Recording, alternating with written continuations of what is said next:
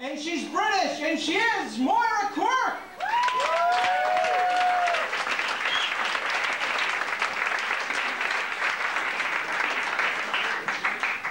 Just right.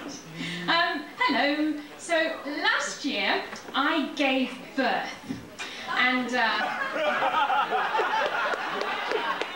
in case you don't know what happens, first you push out the baby, then you push out the placenta, and then you're kind of left with this hole, and pretty much anything that ever made you interesting as a person just falls right out of it.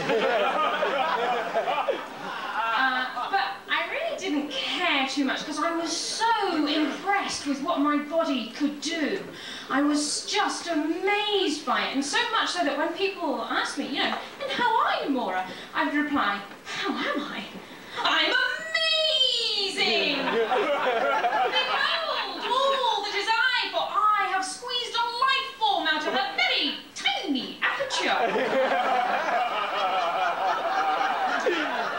And if I could have, I would have leapt off the de- delivery room table and just gone. and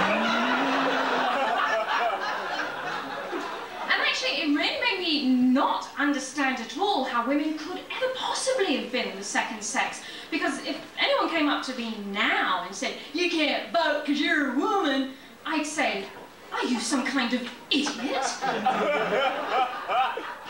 I can give birth and I'm amazing!